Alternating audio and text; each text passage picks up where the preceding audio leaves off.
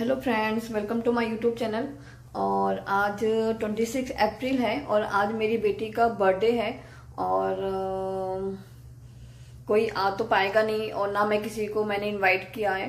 तो मैंने सोचा आज अपनी बेटी का बर्थडे आप लोगों के साथ सेलिब्रेट करूँ। तो मैंने थोड़ा सा डेकोरेट किया। कोई थीम नहीं है भी बिना किसी थीम का क्योंकि अ, कोई थीम रखने के लिए शॉपिंग करनी पड़ती है बहुत सी तैयारियाँ करनी पड़ती हैं। तो हम बाहर तो जा नहीं रहे हैं तो हम शॉपिंग नहीं कर रहे हैं और ऑनलाइन भी चीज़ें मंगवाने के लिए मैं अवॉइड कर रही हूँ। तो बस जो भी मेरे घर में पहले से पड़ा हुआ था मैंने बस उसी से बर्थडे डेकोरेशन किया। और अ, मैंने मेरी एक फ्रेंड अभी आई थी शाम को वो मेरी बेटी के लिए केक बना के लेकर आई थी। तो वो सरप्राइज़ था हमारे लिए। और हम्म, मैंने तो बहुत सोच रखा था क्योंकि मैंने जब अपनी बेटी का फ़र्स्ट बर्थडे किया था तो हेलो किटी थीम थी तो मेरे दिमाग में पहले से था कि मैं अपनी बेटी का फ़र्स्ट बर्थडे हेलो किटी रखूँगी सेकंड बर्थडे मिनी माउस रखूँगी third birthday baby shark theme रहेगा फोर्थ बर्थडे यूनिकॉर्न थीम रहेगा। तो but let's see third birthday मेरा क्या थीम मैं रखती हूँ? सेकंड बर्थडे तो किसी बिना किसी थीम के निकल गया बस ऐसे ही मैंने डेकोरेट कर रखा है।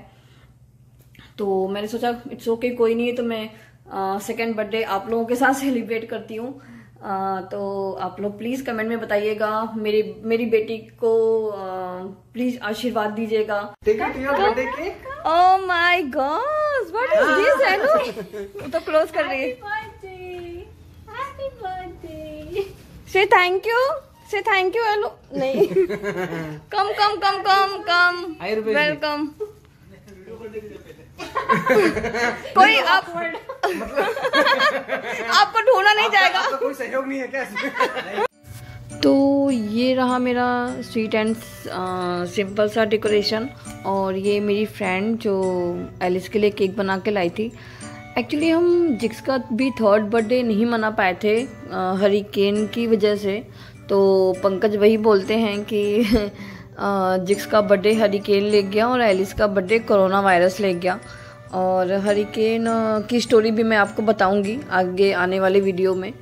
और तब तक आप इंजॉय करिए। Thank you